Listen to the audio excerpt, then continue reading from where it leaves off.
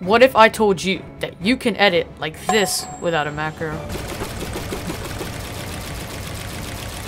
What if I told you that you didn't need a special Nope. controller, a SCUF Nope. controller, an elite Nope. controller, an expensive keyboard, an expensive mouse to edit like this?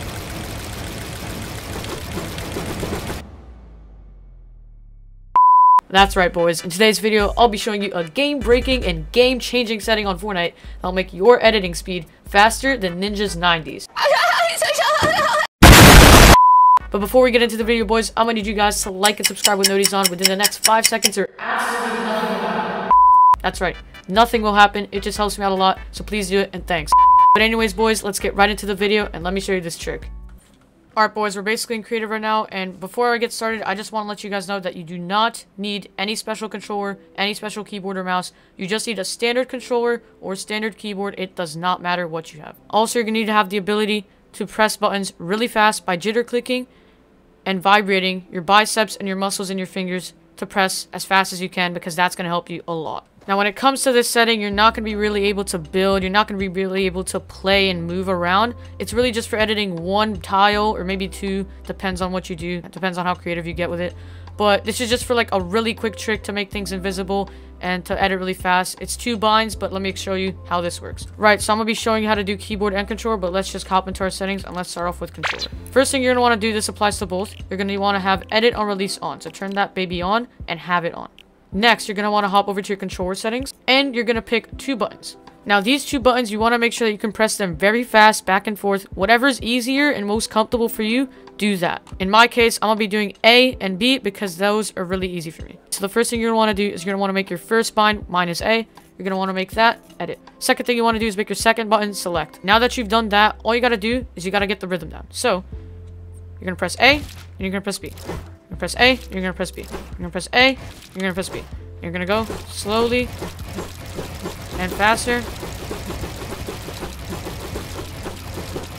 And now it looks like I'm even using a macro or I'm cheating because of how quick my edits are. And yep, just like that, invisible first try, as you can see, and that's pretty much it, and that's how it works. So again, all you're gonna wanna do is you're gonna press your button, your first button, and then your next button. Your first button, your next button, you're gonna do it as fast as you can. To the point where like it's almost like you're pressing them at the same time, but you're not. So for some people, it might be easier to do two fingers, so your pointer in your middle, and you're gonna go boom, bang, boom, bang, boom, bang. And for some people, they might wanna do a swipe so you just kind of swipe back and forth, and that's even pretty quick if you do it right. And then in my case, I like to do both pointer fingers on both my hands because it's a lot easier. And I just jitter click as fast as I can back and forth. When you're jitter clicking, if it's two fingers or both, it doesn't matter. What you're going to want to make sure is that your second finger, or for your second button, that your finger is elevated a little bit more. So you press your first and then your second, and you don't mess up. Because the second you start pressing both of them at the same time, it kind of falls off the rails, and as you can see, that's what happens, and you kind of lose control. But yeah, that's pretty much it. As long as you can press buttons really fast, and you can make this work,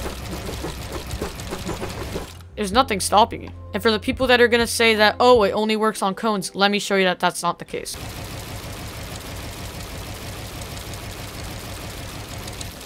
And as you can see, it even broke a couple times, but yeah, I just made a wall invisible.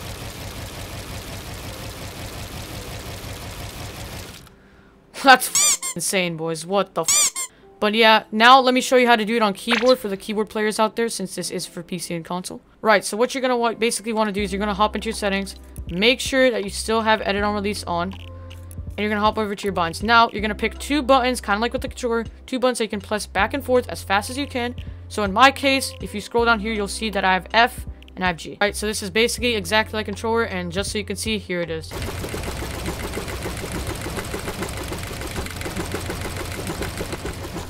And there it is, boys. Invisible cone. And that's just more proof that this thing is broken. And boom, there's another invisible wall. So yeah, guys, that's pretty much it. And I told you that a million times. This thing is just absolutely broken. So whenever you see my montages or videos where I'm doing that on keyboard, it's because keyboard is easier for me. It's just a lot quicker to set it up than controller. But it's the same thing and I can do it on both. Listen, I'm not even a keyboard player and I can edit that fast. But on that note, that's pretty much gonna wrap up the tutorial for today. Alright, boys, so that's pretty much going to wrap up the video. If you're new here, don't forget to subscribe with notice on. And if you are still new or not new, don't forget to drop a like and leave a comment down below of what you think of the secret setting. Also, comment the word secret 2 so I know you made it this far in the video. But yeah, boys, if this video gets 10k likes, I'll do a part 2 and I'll show you another tip. But yeah, on that note, I'll see you guys in the next video and peace.